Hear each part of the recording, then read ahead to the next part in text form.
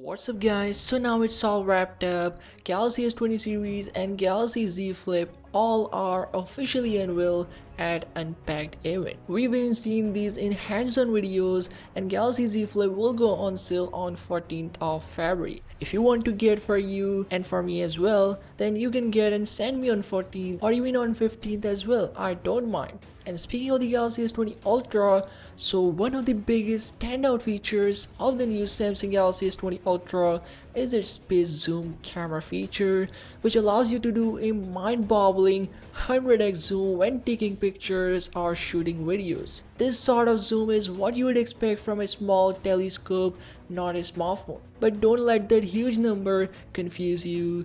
The Samsung Galaxy S20 Ultra can do 100x lossless optical magnification, but it can indeed do a crazy zoom through a lot of hardware and software trickery. So the Galaxy S20 Ultra is the only model in the S20 family equipped with a periscope zoom lens. It has 48 megapixel sensor and can do up to 4x optical zoom on its own, but you can go up to 10x without losing any quality thanks to what Samsung is calling a hybrid optic zoom. Although this isn't a purely optical magnification, Samsung says that up to 10x zoom you won't really notice any drop in image quality. And not only this, Galaxy S20 Ultra also promises to take you as far as 100x zoom but without any great claims about picture quality. We have already seen phones can go as high as 20x or 50x zoom but the Galaxy S20 Ultra goes twice as high. Still its method for doing isn't quite as revolutionary as its name may have you believe.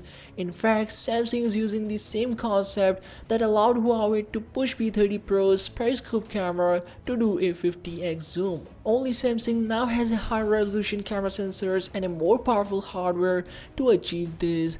The Galaxy S20 Ultra achieves 100x zoom by leveraging two high-resolution camera sensors and a power of on-the-fly image processing. Simply put, after you pass the 10x threshold, the phone will rely heavily on digital methods to maximize the potential of the telephoto camera and its 48 megapixel by cropping, sharpening and otherwise attempting to improve the result on the fly using software. But since algorithms can only go so far, the Galaxy S20 Ultra is also pulling data from the massive 108 megapixel sensor of its main camera and combining it with the image data from the telephoto camera to deliver the final result. Having access to more image data from both sensors and combining it is what allows the S20 Ultra to achieve space zoom 100x. From what we have seen so far, isn't nearly as crisp as what you get on lower levels of zoom, although it is still might although it is still mighty impressive to be able to do something like this on a smartphone. So always remember big numbers aren't everything when it comes to photography.